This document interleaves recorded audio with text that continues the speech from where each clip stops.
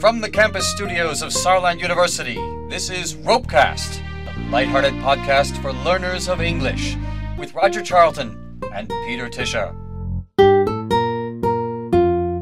Hi, folks. Welcome to a special pre election episode of Ropecast. I'm Peter Tischer, and I'm not with Roger Charlton as I usually am. I am with an American today, with David Knott. Knott is the last name. Hi, David. Hi. And we're here to obviously talk about the election. And uh, we're not going to go over the electoral system because our podcast number 26 has it in all detail. Um, I'd like to talk to you about basically how can it happen that we have these two candidates? You know, Donald Trump, I don't think we have to say much about him, but Hillary Clinton is completely unpopular as well.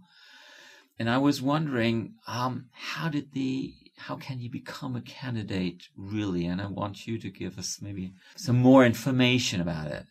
Well, I um, it's been a long two years um, because that's how long the campaigns lasted in general. And I come from Iowa, which is the first state in the nation to do a caucus. So we had about eight months of um, presidential candidates coming in and talking to us in every city possible. A caucus is a sort of a pre-election um, It to is. select the candidate, right? It is. Um, it's it differs slightly from a typical election where you just write down your vote and turn it in, um, in that it's much more public. You participated in that. You told me before the recording.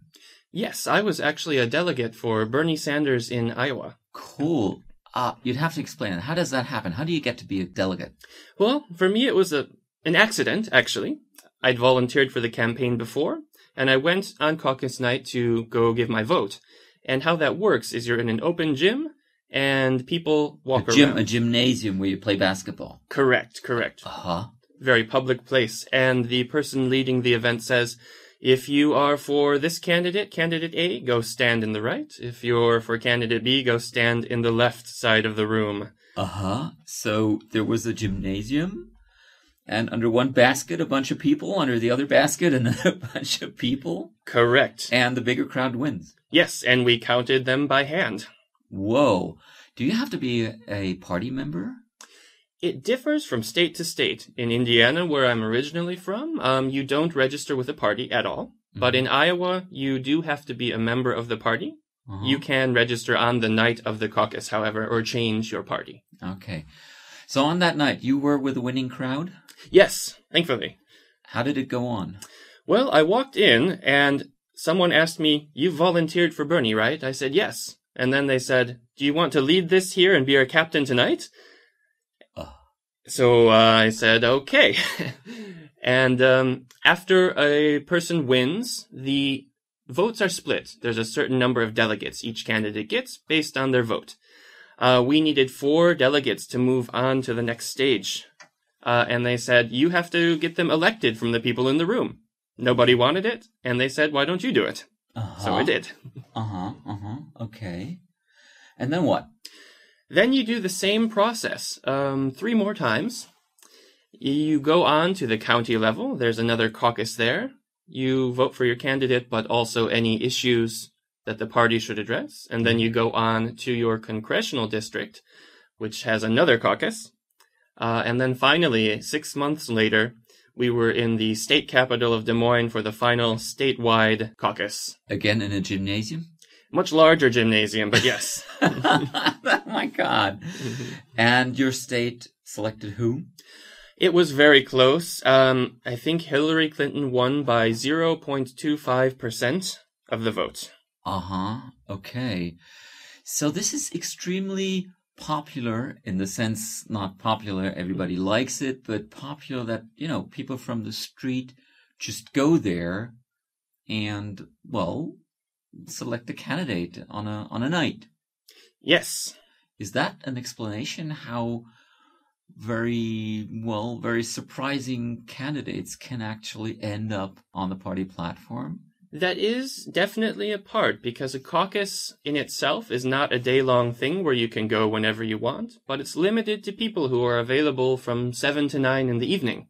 Mm-hmm. Um, so that's definitely a part. Uh, but I think that the Republicans and the Democrats have slightly different stories about how we got two such unpopular candidates.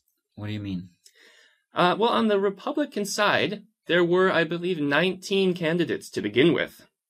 Mhm. Donald Trump was not very popular. He led the group, but only with about 30% of the vote. Uh, and so when you go into an election with 19 people, and he wins with only 30% of the vote, in a winner take all system which the Republicans had, he still gets all of the delegates, even though 70% voted against him. Okay, that explains it. And the, the Democrats don't do it that way? The Democratic primary um, generally splits the votes um, in the states. Splitting the votes means there's a certain percentage that corresponds to the votes for the winner. Correct. If you win 50%, you get half of the delegates. Okay, okay, I get it. Okay, well, it's going to be a close election night. Uh, I'm pretty sure you're kind of anxious Very, right now, very anxious. especially if you were originally in favor of Bernie Sanders, Yes. who is even further away from Donald Trump than Hillary Clinton is. I am very, very anxious as well. We'll have a special podcast on the 9th of November, just after election night on the 8th. But before we do that, I would like to ask you one question beforehand, which is a linguistic question. Sure. Um, I heard very often that Donald Trump is called, even by Hillary Clinton, the Donald. Now, we learn in English class you can't do it as Germans do, put a definite article in front of a first name. Why do, do they call them the Donald? Well, I have a theory. Um, so if there's only one of something in English, uh, so for example, we know the sun or the earth, Uh huh. we use the definite article. Donald Trump has spent his entire life building his brand on his name and how unique and successful his name is. So my idea is that people have kind of grabbed onto that uniqueness, whether in a positive or negative sense, and Uh-huh. attached the article to it. So he's now and forever the Donald, the Okay. one and only. Okay. So I guess we'll just have to see whether it'll be either the Donald or another Clinton in the Oval Office. So folks, um, stay tuned. Download in a few days our special podcast right after election night. For today, I will say goodbye. Thank you, David, for being here and telling us about this caucus. Thank you for having me. Okay, great. Bye bye. Bye.